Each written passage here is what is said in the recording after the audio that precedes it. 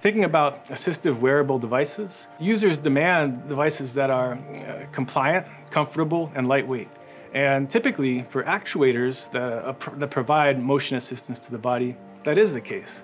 But uh, controllers, on the other hand, have typically relied on bulky electronic systems that either require a tether to external infrastructure or alternatively require you to carry around a cumbersome system for control.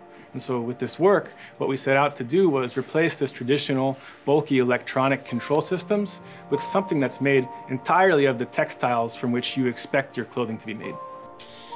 Our focus from right from the beginning of this project was essentially to build devices that are comfortable and low profile for people with mobility limitations and people with disabilities.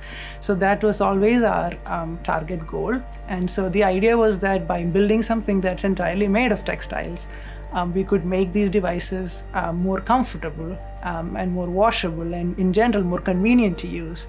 And um, I would be very happy if this technology can translate into something that is actually useful to um, people with um, uh, mobility limitations in real life. One of the target populations with this work was users with limited overhead mobility, which actually uh, comprises about 10% of the population.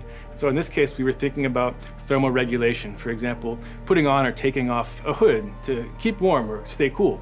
And we designed a device where we can store a bit of memory. In this case, it's assigned to the current state of the user's hood, up or down, and then simply press a region on the user's garment to change that state. We did a couple of tests on them. So we bent um, uh, folded our device um, about a million times.